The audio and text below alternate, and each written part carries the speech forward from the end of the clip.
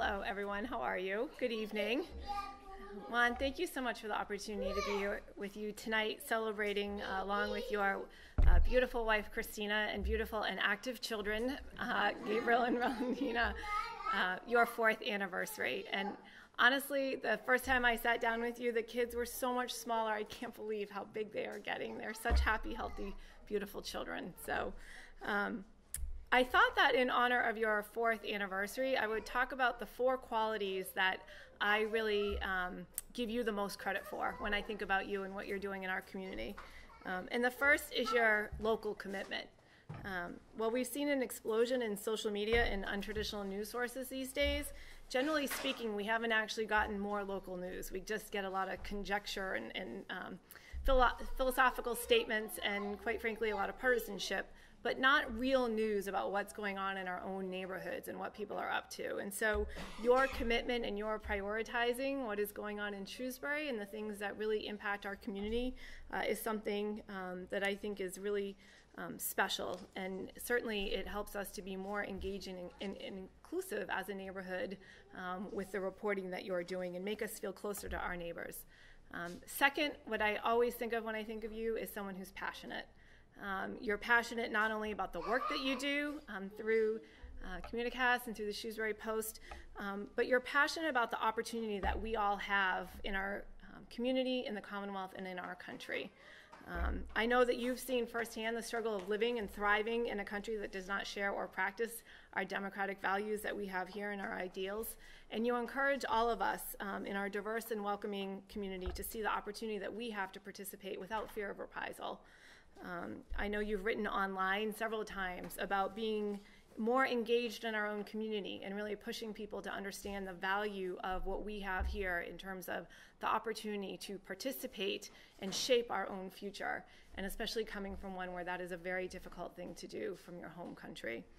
Um, and my, my third quality that I see in you is interest, a genuine interest. When you sit down and you interview somebody, you really want to understand them. You're really seeking to understand what makes them who they are. What are the things that make them tick? You're not looking to do a sort of superficial story.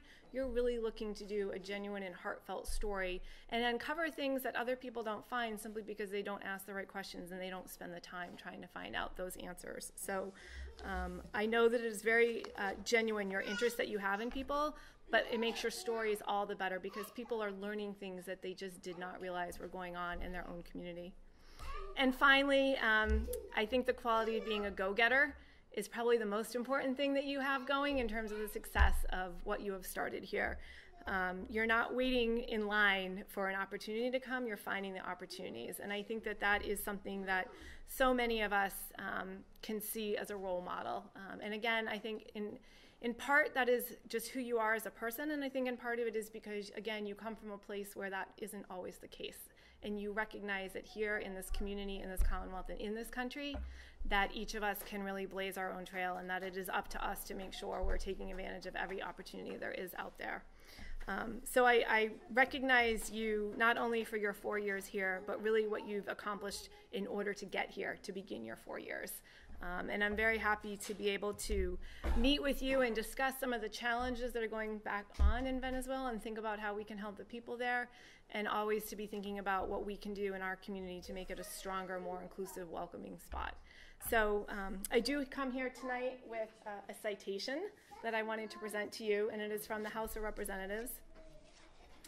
And um, come on up here. Let me read it to you.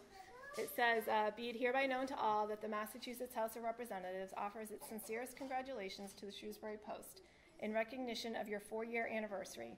Thank you for becoming part of the Shrewsbury community and providing residents with an engaging and respectful local news source.